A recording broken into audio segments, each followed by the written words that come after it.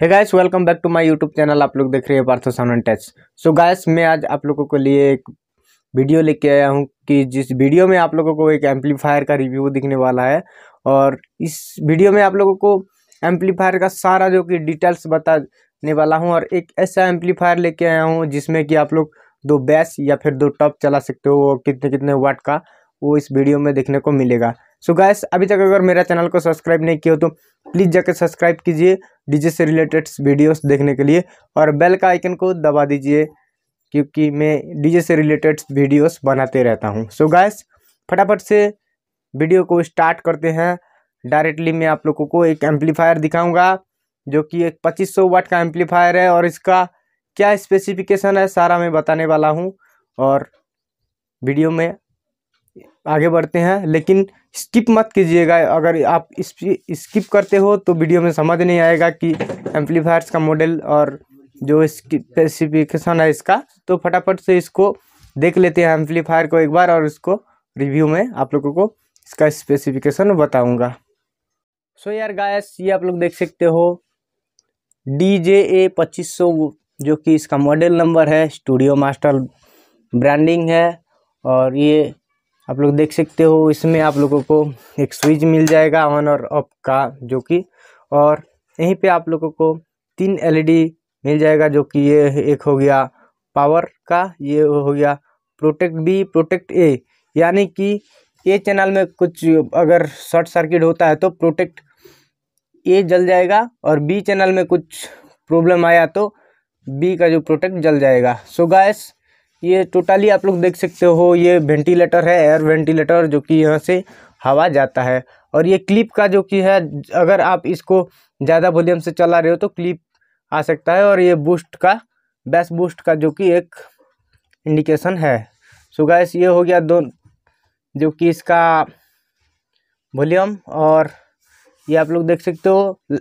हालाँकि ये एक छोटा दिखने वाला एम्पलीफायर है, लेकिन आप लोगों को पता होगा कि मोसपेट एम्पलीफायर का पावर ज़्यादा ही रहता है।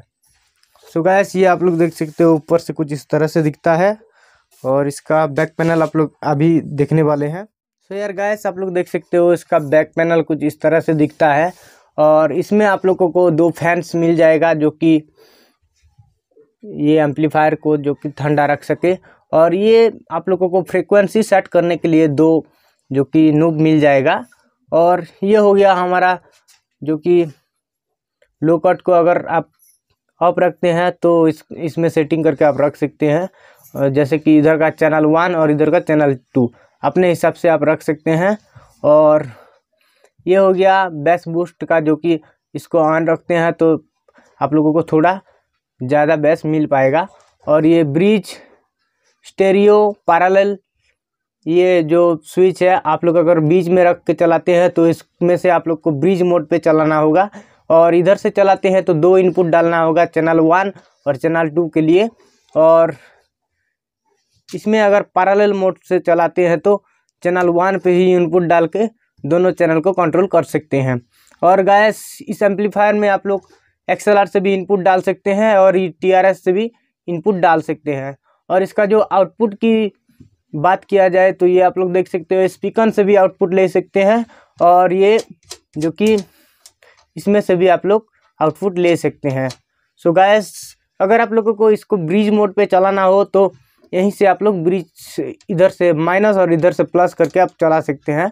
और ये आप लोग देख सकते हो सेंसिटिविटी सब कुछ यहीं पे आराम से अर्थिंग भी मिल जाएगा फ्यूज यहीं पे मिल जाएगा, ये पावर केबल्स है। सो so गैस इसका मैं स्पेसिफिकेशन के बारे में आप भी बताने वाला हूँ कि इस एम्पलीफायर में आप कितना वाट का बेस कितना वाट का टफ चला सकते हैं। फाइनली यार गायस इस एम्पलीफायर का जो स्पेसिफिकेशन है, आप लोग अगर इसको बेस चलाना चाहते हैं तो सिंगल बेस आप इसमें चलाना चाहते हैं तो एक बेस आप 650 वाट का जो Ahuja S W X six fifty model करके आता है उसको आप पर चैनल एक चला सकते हैं।